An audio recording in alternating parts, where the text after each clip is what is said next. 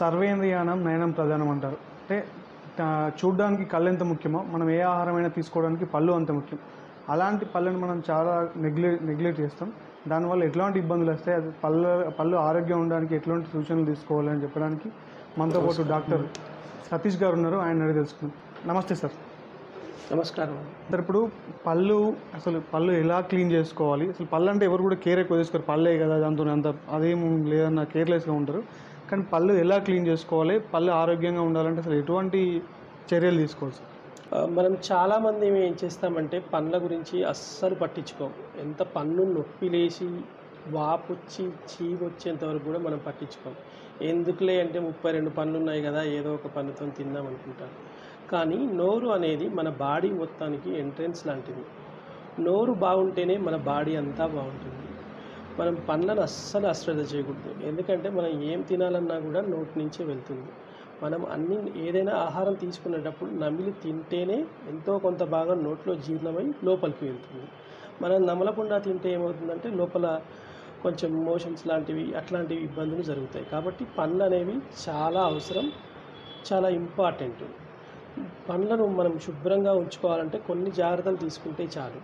మనం పండ్లను బ్రష్ చేసేటప్పుడు మన కాన్సన్ట్రేషన్ అంతా బ్రష్ మీదే ఉంచి రెండు లేదా మూడు నిమిషాలు బ్రష్ చేస్తే సరిపోతుందండి. మనం అందరం ఏం చేస్తామంటే బ్రష్ చేసేటప్పుడు టీవీ చూస్తూనో పక్క వాళ్ళతో మాట్లాడుతూనో బ్రష్ చేస్తాం. అలా కాకుండా బ్రష్ చేసేటప్పుడు మన బ్రష్ ఫార్టీ ఫైవ్ డిగ్రీస్ యాంగిల్తో ఇలా పెట్టుకొని పైకి కిందికి పైకి కిందికి ఒక్కొక్క side four to five strokes ఇస్తే సరిపోతుందండి. మనం ముందుగా ఏంటంటే ఫస్ట్ పైన దవడ చూద్దాం. పైన దవడ బయట సైడు ముందల లెఫ్ట్ సైడ్. తర్వాత కొరికే భాగం ముందు భాగం తర్వాత ఇక్కడ. మళ్ళీ తర్వాత ఏంటంటే అంగుట్ సైడు. ఇక్కడ ఇక్కడ ఇక్కడ బ్రష్ చేసి సరిపోతుంది. సేమ్ అలాగే కింది దవడలో కూడా బయట side right side left side front side. తర్వాత కొరికే భాగంలో ఒకటి రెండు మూడు. తర్వాత నాలుక సైడు ఐదు ఆరు. ఇలా ఒక్కొక్క side four to five strokes ఇస్తే రెండు లేదా మూడు నిమిషాల్లో మన బ్రషింగ్ మొత్తం పూర్తవుతుందండి. ఇప్పుడు దంతాల పట్ల చాలా మందికి కొన్ని అపనమ్మకాలు ఉంటాయి. పళ్ళు పీకేసుకోకూడదని క్లీన్ చేయించుకుంటే ఊడిపోతాయని లూజ్ అవుతాయని లేకపోతే పిప్పని నచ్చినప్పుడు కూడా దానిలో ఏదో ఆకులు గడ్డి మందు పెట్టేసి అట్లే వదిలిపెడతారు. దానివల్ల ఎటువంటి ఎఫెక్ట్స్ ఉంటాయి సార్. మనకు చాలామందికి ఏంటంటే చాలా అపోహలు ఉన్నాయి. పన్ను పీకించుకుంటే కళ్ళు పోతాయని. పైన ఎస్పెషల్లీ పైన దవడలో పన్ను పీకించుకుంటే కళ్ళు పోతాయని చాలామంది నమ్ముతారు. కానీ అది ఎలాంటి నిజం లేదు. మనకి పన్నుకు కన్నుకు డైరెక్ట్ సంబంధం ఎప్పుడూ ఉండదు. కాకపోతే ఏంటంటే వెనకట యాంటీబయాటిక్స్ లేని రోజుల్లో పన్నుకి ఏదైనా ఇన్ఫెక్షన్ అయినప్పుడు దవడ ఉబ్బి ఉండడం వల్ల వాళ్ళకి కన్ను చిన్నగా కనిపిస్తే అదొక ఫీలింగ్ లాగా ఉండేది కానీ డైరెక్ట్ రిలేషన్షిప్ ఎప్పుడూ ఉండదు. మనకు పన్నుకు కన్నుకు సపరేట్గా నర్వ్ సిస్టమ్ వస్తుంది. దానికి ఎలాంటి సంబంధం లేదు. ఇంకొకటి ఏంటంటే చాలామంది పన్ను క్లీనింగ్ చేయించుకుంటే ఆ, అరిగిపోతాయని విరిగిపోతాయని అంటారు. మనకు ఎనామిల్ అనేది స్ట్రాంగెస్ట్ బాడీ పార్ట్ అన్నట్టు. బాడీ మొత్తంలో కూడా ఎనామిల్ అంత స్ట్రాంగ్ పార్ట్ ఏది లేదు. అది అసలు క్లీనింగ్తో ఎలాంటి హాని జరగదు. క్లీనింగ్ చేయించుకుంటే మనకు పండ్ల మీద ఉన్న గార పోయి శుభ్రంగా ఉంటుంది. ప్రతి వ్యక్తి కూడా వీలైనంత వరకు ఆరు నెలలకు ఒకసారి క్లీనింగ్ చేయించుకోవాలి. ఇంకొకటి అపోహ ఏంటంటే జ్ఞానదంతం తీసేసుకుంటే ఏదో జ్ఞానం పోతుందని. అదొక అపోహ మాత్రమే. కొంతమందికి ఏమవుతుందంటే పన్ను రా అది లేటుగా వస్తుంది అన్నట్టు పన్ను. పద్దెనిమిది సంవత్సరాల తర్వాత వస్తుంది. అప్పటి వరకు జాగా అక్కడ కరెక్ట్ ప్లేస్ ఉంటేనేమో స్ట్రైట్గా వస్తుంది. కొంతమందికి ఏంటంటే ఆ జాగా సరిపోకపోవడం వల్ల ఓంకారు రావడం జరుగుతుంది. అటువంటి అప్పుడు ఏమవుతుందంటే వాళ్ళకి నొప్పి రావడము చిగురు వాపు రావడం జరుగుతుంది. ఇటువంటి సందర్భాల్లో పన్ను తీసేస్తాం. ఏం జరగదు అక్కడ. పన్ను తీసేసిన తర్వాత అక్కడ చిగురు పెరిగి మంచిగా మానిపోతుంది. దీనివల్ల కూడా ఎలాంటి నష్టం ఉండదు. ఇంకొకటి ఏంటంటే సార్ ఇప్పుడు పళ్ళు ఎల్లో కలర్ అంటే ఎల్లో కలర్ ఉంటాయి. ఎల్లో కలర్ ఉన్న పళ్ళు వాళ్ళు ఎక్కువగా యాక్టివ్గా మాట్లాడలేకపోతారు. కొంచెం షైగా ఫీల్ అవుతారు కాబట్టి. ఆ ఎల్లో కలర్ పళ్ళు పోవాలంటే ఎటువంటి ట్రీట్మెంట్ ఏమైనా ఉంటుందా?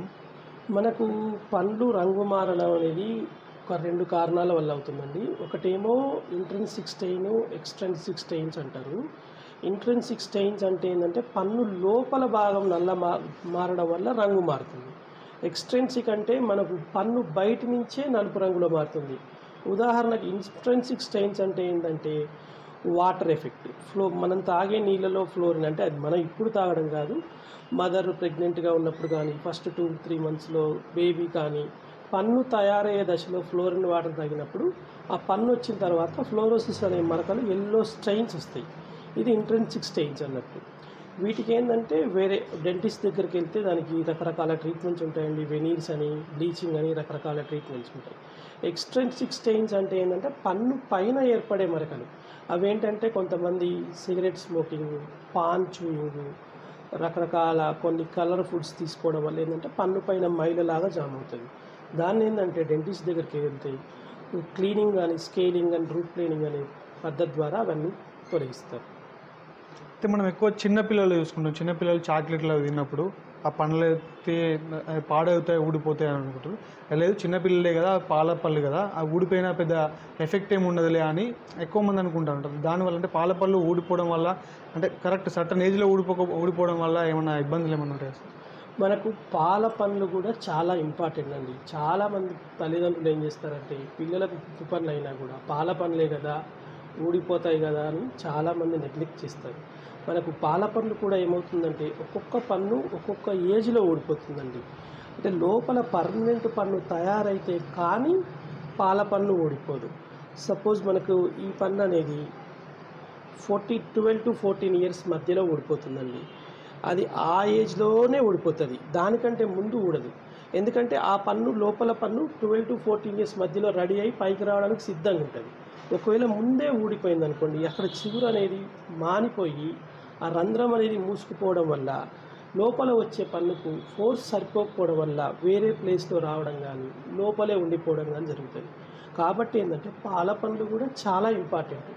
పాల పండ్లు బాగుంటేనే పర్మనెంట్ పండ్లు బాగుంటాయి మంచి పొజిషన్లో వస్తాయి. లేకపోతే మాలాలు ఏంటంటే అది వేరే వేరే జాగాల్లో వస్తుంటుంది ఎత్తుపళ్ళు ఉంటాయి. దానికి అంటే పాతకాలంలో అయితే ఈ ఐరన్ క్లిప్స్ అవి వేసేటోళ్ళు ఇప్పుడు ఇన్విజిబుల్ క్లిప్స్ అనేవి కొత్తగా వస్తున్నాయి. అంటే దానికి దీనికి తేడా ఏంటిది? ఏ ఏ క్లిప్స్ వల్ల అంటే పళ్ళకి ఎటువంటి డ్యామేజ్ కలగకుండా బాగా పరిస్థితి ఉంటుంది. ఇప్పుడు మనకి ఎత్తు పనులకి ఏంటంటే చాలా రకాల క్లిప్స్ ఉన్నాయండి. ఇంతకుముందు మెటల్ క్లిప్స్ అని అట్లా ఇట్లా వేసేవాళ్ళు. అవి కూడా మంచియే. ఇప్పుడు మెటల్ క్లిప్స్ సిరామిక్స్ కాకుండా లేటెస్ట్గా అలైనర్స్ అని అంటున్నారు. వాటిని ఇన్విజిలెంట్ క్లిప్స్ అని కూడా అంటారు.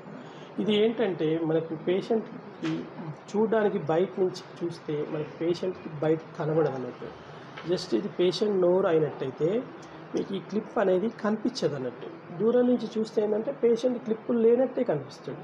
ఇంతకుముందు ఏంటంటే పని ఒక్కొక్క పన్నుకు ఒక్కొక్క క్లిప్ వేసి అవన్నీ కలిపి ఒక వైర్ లాగా చేసి ఆ వైర్ని టైట్ చేయడం వల్ల ట్రీట్మెంట్ అయ్యేది.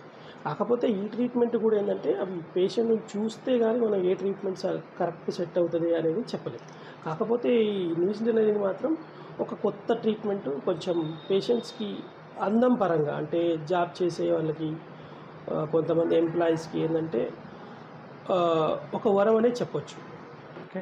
ఇప్పుడు మన మానవ నిత్య జీవితంలో junk food cool drinks ice creams ఇవన్నీ అంటే సాధారణం అయిపోయినాయి ఎప్పుడంటే ఒకప్పుడు అంటే పల్ పండుగలకు అప్పుడు ఎప్పుడు నాన్ వెజ్ తినేవాళ్ళం బయట ఫుడ్ తినేవాళ్ళం. ఇప్పుడు సాధారణంగా బయటకు వెళ్ళిన ప్రతిసారి బయట ఫుడ్ తింటున్నాం. దానివల్ల పళ్ళకి ఏమైనా ఎఫెక్ట్ కలుగుతుంది? మనకు జంక్ ఫుడ్లో ఏమవుతుందంటే దానికి స్టిక్కీ నేచర్ ఉంటుంది.